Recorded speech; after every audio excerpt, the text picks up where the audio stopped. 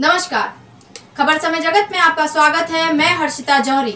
सर्व मंगल मांगल्य शिवे सर्वार्थ शादी के शरण नेत्र अम्बके गौरी। नारायणी नमोस्तुते चैत्र नवरात्रि की समस्त देशवासियों को समय जगत समूह की ओर से हार्दिक हार्दिक शुभकामनाएँ।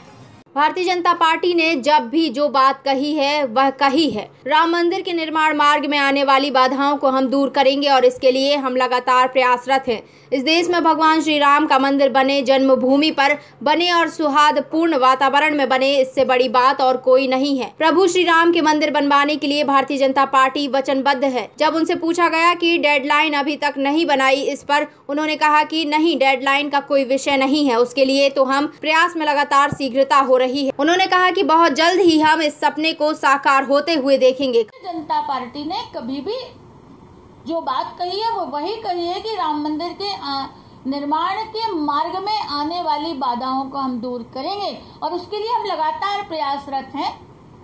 इस देश में भगवान श्री राम का मंदिर बने जन्मभूमि पर बने और सौहार्दपूर्ण वातावरण में बने इससे बड़ी बात कोई और नहीं होगी और उसके लिए भारतीय जनता पार्टी संकल्पित है।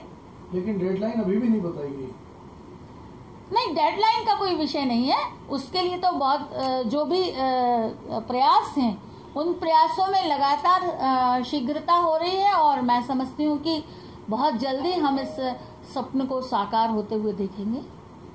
धारा 370 हटाने के लिए हम संकल्पित हैं वो बात मैंने आपसे पहले भी कही है।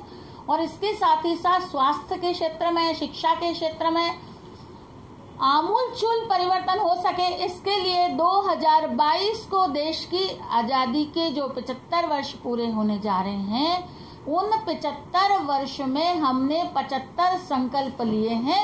ये 48 पेज का जो हमारा संकल्प पत्र है उसमें उन चीज़ों का सारा उल्लेख है।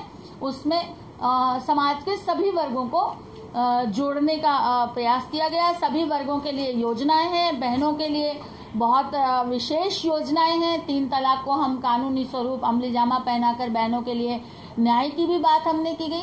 और कुल मिलाकर के मैं ये कह सकती हूँ कि एक बहुत सुंदर जो बात इस संकल्प पत्र में है, वो किसी वर्ग विशेष के लिए कोई बात नहीं है। वो देश के 130 करोड़ देशवासियों के लिए सबका साथ सबके विकास को लेकर के योजनाएँ बनाई गई है।